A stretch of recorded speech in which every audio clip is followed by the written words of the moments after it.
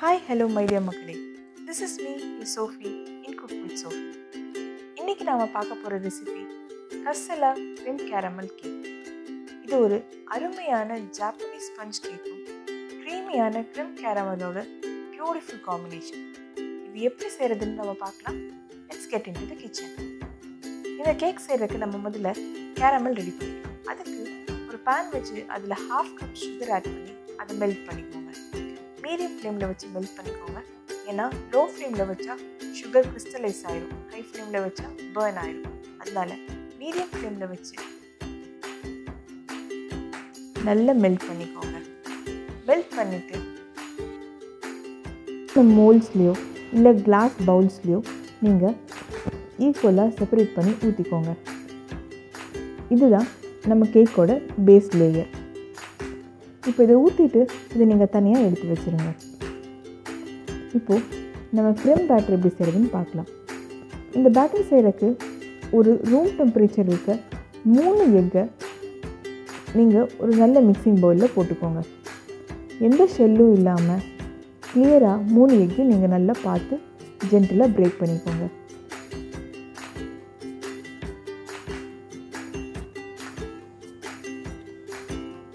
இப்போ இந்த மூணு எக்கையும் நல்லா பீட் பண்ணிக்கோங்க.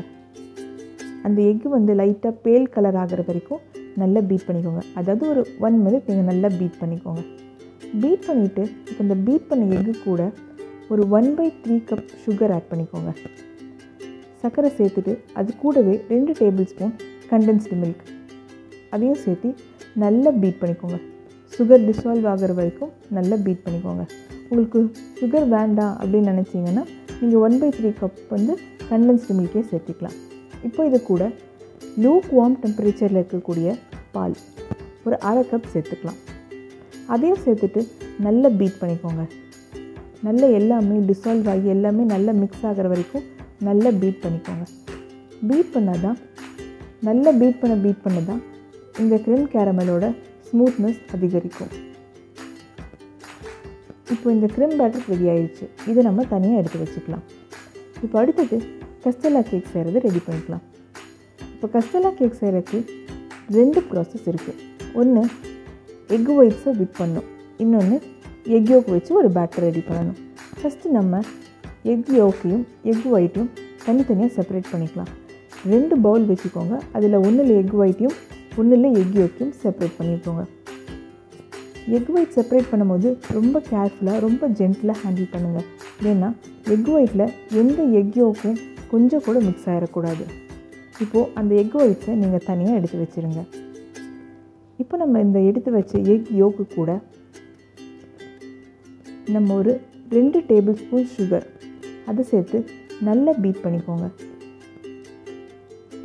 அந்த எக் யோக்கு கூட சுகர் வந்து நல்லா டிசால்வ் ஆகிற வரைக்கும் நல்லா பீட் பண்ணிக்கோங்க. ஒரு ஒன் மினிட் பீட் பண்ணதுக்கப்புறமா இந்த எக் யோக் மிக்சரில் ஒரு ரெண்டு டேபிள் ஸ்பூன் ஆயில் எந்த ஆயிலாக இருந்தாலும் பரவாயில்ல. நீங்கள் வீட்டில் எந்த குக்கிங் ஆயில் யூஸ் பண்ணீங்களோ அது யூஸ் பண்ணிக்கோங்க. அது கூடவே ரெண்டு டேபிள் ஸ்பூன் பால் ரூம் டெம்பரேச்சரில் இருக்க மில்க் ஆட் பண்ணிக்கோங்க. அது கூட ஒரு ஹாஃப் டீஸ்பூன் வனிலா எக்ஸ்ட்ரா அதையும் சேர்த்து எல்லாமே நல்லா மிக்ஸ் ஆகிற மாதிரி நல்லா பீட் பண்ணிக்கோங்க. பாலும் எண்ணெயும் வெனிலா எக்ஸ்ட்ராக்டும் எக்யோக்கும் நல்லா மிக்ஸ் ஆகணும். மிக்ஸ் ஆனதுக்கப்புறமா ஒரு சீவ் வச்சு அதாவது ஒரு சலடை வச்சு one by three cup of all purpose flour அதாவது மைதா. அது கூடவே ஒரு அரை டீஸ்பூன் பேக்கிங் பவுடர் அதையும் சேர்த்து நல்லா சலிச்சுக்கோங்க ஸ்மூத் கன்சிஸ்டன்சி கிடைக்கணும் நம்ம கேக்கில் அப்படிங்கிறதுக்காக தான் நம்ம எப்போவுமே கேக் செய்யும் போது மாவை வந்து சலித்து சேர்க்குறோம். இப்போ இந்த மாவையும் சலிச்சுட்டு நல்லா மிக்ஸ் பண்ணிக்கோங்க எந்த ஒரு கட்டியும் இருக்கக்கூடாது. எந்த லம்ப்ஸும் இல்லாமல் நல்லா பீட் பண்ணி நல்லா மிக்ஸ் பண்ணிக்கோங்க. ஒரு ஒன் மினிட் பீட் பண்ணிவிட்டு இதை நம்ம தனியாக எடுத்து வச்சிடலாம். இப்போ நம்ம எக் ஒயிட்ஸ்க்கு வரலாம். எக் ஒயிட்ஸை ரூம் டெம்பரேச்சரில் வச்சுக்கோங்க. அப்போ தான் அது நல்லா விப் ஆகும். ஸோ இப்போ எக் ஒயிட்ஸை ஒரு பீட்டர் வச்சு ஒரு ஒன் மினிட் நீங்கள் பீட் பண்ணுங்கள் பீட் பண்ணிட்டீங்கன்னா ரொம்ப ஃப்ரோமியாக ஃப்ரோத்தியாக ஒரு கன்சிஸ்டன்சி கிடைக்கும். அதுக்கப்புறமா அதில் ஒரு டேபிள் ஸ்பூன் சுகர் சேர்த்துக்கோங்க. சேர்த்துட்டு அதை ஒரு ஒன் மினிட் பீட் பண்ணுங்கள் அதுக்கப்புறமா இன்னொரு டேபிள் ஸ்பூன் சுகர் சேர்த்து அதையும் நல்லா ஸ்டிஃப் பீக்ஸ் வர வரைக்கும் சேர்த்துக்கோங்க. பீட் பண்ணிக்கோங்க. இப்போ நம்ம மொத்தமாக ரெண்டு டேபிள் ஸ்பூன் சுகர் சேர்த்துருக்கோம். பேட்ச் அப்படி பேட்ச் பேட்சாக அதாவது பாதி பாதியாக சேர்த்துருக்கோம். அதையும் சேர்த்துட்டு நல்ல ஸ்டிஃப் பீக்ஸ் வர வரைக்கும் நல்லா பீட் பண்ணிக்கோங்க. பீட் பண்ணிவிட்டு அந்த எக் விப் பண்ண எக் ஒயிட்ஸை ஒரு ஒன் தேர்ட் எடுத்து நம்ம எக் யோக் வச்சு ஒரு பேட்டர் செஞ்சோம் இல்லையா? அது கூட சேர்த்து நல்லா மிக்ஸ் பண்ணிக்கோங்க. நல்லா இன்கார்பரேட் ஆகிற வரைக்கும் ஃபுல்லாக நல்லா மிக்ஸ் பண்ணிக்கோங்க.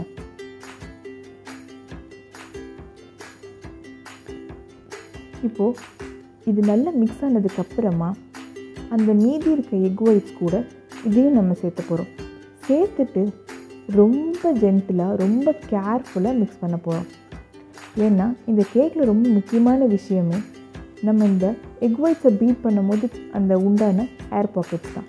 அந்த ஏர் பாக்கெட்ஸ் எல்லாம் உடஞ்சி போயிடாமல் ஜென்டிலாக மிக்ஸ் பண்ணணும். அதுக்கு நம்ம கட்ஃபுல் மெத்தட் யூஸ் பண்ணி இந்த பேட்டரை நல்லா மிக்ஸ் பண்ணிக்கலாம். ஜென்டிலாக மிக்ஸ் பண்ணி தனியாக எடுத்துக்கோங்க. இப்போ நம்ம அசம்பிள் பண்ணலாம்.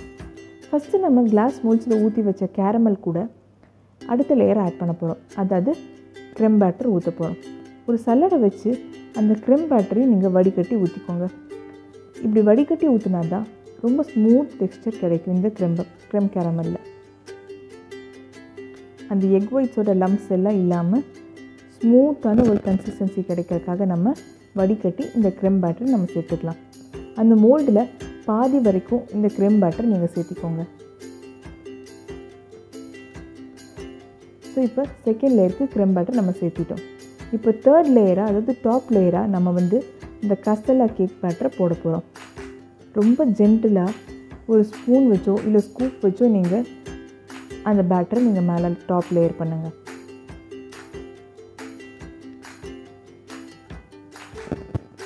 ஜென்டிலாக மிக்ஸ் பண்ணிடாமல் மேலாக டாப் லேயர் பண்ணி இப்போ அதை எடுத்து அந்த மூல்ஸை தனியாக எடுத்து வச்சுக்கலாம். ஒரு பேக்கிங் ட்ரே வச்சு அந்த பேக்கிங் ட்ரேக்குள்ளே நம்ம அசம்பிள் பண்ண மோல்ஸையும் வச்சிடலாம். வச்சுட்டு அந்த ட்ரேயில் சுடு தண்ணியை பாதி ஃபில் ஆகிற வரைக்கும் ஊற்றிக்கோங்க அந்த வெளியே இருக்க பேக்கிங் ட்ரே பாதி ஃபில் ஆகிற வரைக்கும் சுடு தண்ணி ஊற்றிக்கலாம் ஊற்றிட்டு நம்ம அவனில் வச்சு பேக் பண்ண போகிறோம் அவனை முதல்ல ஒன் சிக்ஸ்டி டிகிரிஸில் வச்சு ஒரு டென் மினிட்ஸ் ப்ரீ ஹீட் பண்ணிக்கோங்க.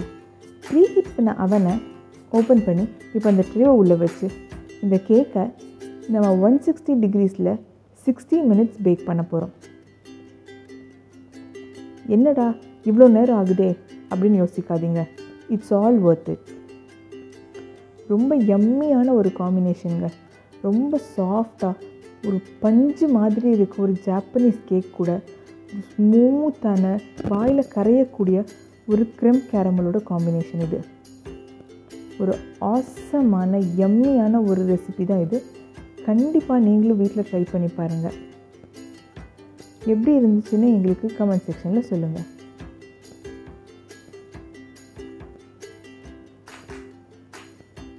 மறக்காமல் எங்களை லைக் பண்ணுங்கள் ஷேர் பண்ணுங்கள் சப்ஸ்கிரைப் பண்ணுங்கள் தேங்க்யூ